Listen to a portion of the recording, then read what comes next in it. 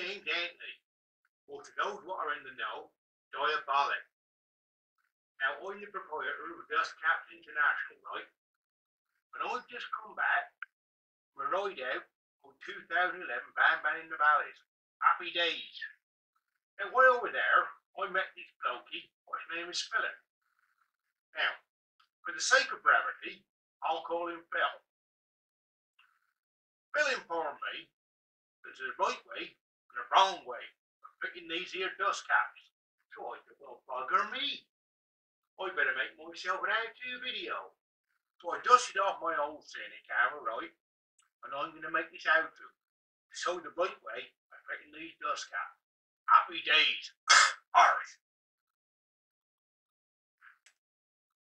Now, when you receive your dust cap through the post, they'll be in a little jiffy bag. When you open it, and inside, a transparent, self-sealing polyvinyl chloride sach- sachet, such as this one here. See, there they are, little dust caps. Beautiful. Eight happy days. I'll just sit on my bike here to show you this next bit, because it's quite important. Oh, let me just get comfortable. Oh, and he fell over then. Imagine that. Oh, happy days. Now, when you get your sachet, I find the best way of opening these, right, is to take the seal, this little seal here, look, between your forefinger and your thumb. And you give it a twist, and he opens like that, see? Then you get the sachet, and you hover it, ho- hover it over your other hand, and tilt it 180 degrees, like see. Now, if you just give the bag a little shake, you'll find gravity does the best. Eh? And there they are. Now let's go on to the next part. Happy days. Now then, now you've got your little dust cap out of the uh, cell sealing sachet. What you want is a little bit of copper grease, or copper slip as is known in the trade. And you want to spray a little bit around your rim. War! No, seriously though, you want to spray a bit around your rim. I'll go over to the bench here, and I'll put the camera over here, and you can see how it's done. Be right back.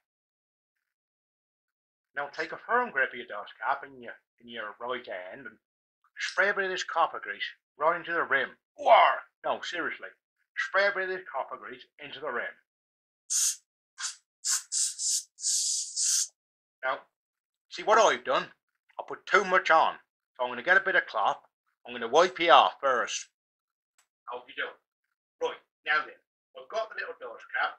And what I've done, I've wiped off all the excess copper slip what I sprayed on my, mistake. Silly bugger, ain't I?